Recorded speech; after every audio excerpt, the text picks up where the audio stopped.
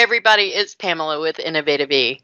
A few months ago, I showed you how to upload one of your own images to use as a custom background for Microsoft Teams calls where you have to have your camera on, but you want a better background.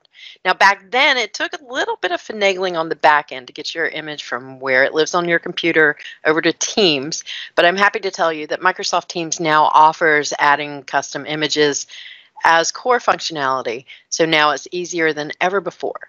So let me show you how to do that real quick. First, go up to the ellipsis that says More Actions. Apply background effects.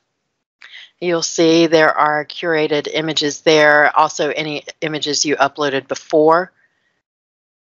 Just simply click Add New. Select the image that you want to use as your custom background and scroll down to it.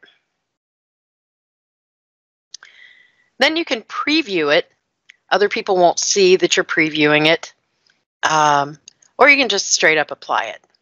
Now, if you decide you do not like the picture, you want to get rid of a picture, go back up to the ellipsis, apply the background effects, and select the picture you want to delete. Each image will have a little ellipsis where you can just delete it. You'll have to do this separately for each image. Then select the image that you do want to use and click apply. And boom, now you have new background. Easy peasy. Now, if you found this helpful, please give this video a thumbs up and subscribe to our channel, which is packed with videos to help you improve your work life with more efficient, more effective work and project management tools and processes. Thanks and take care.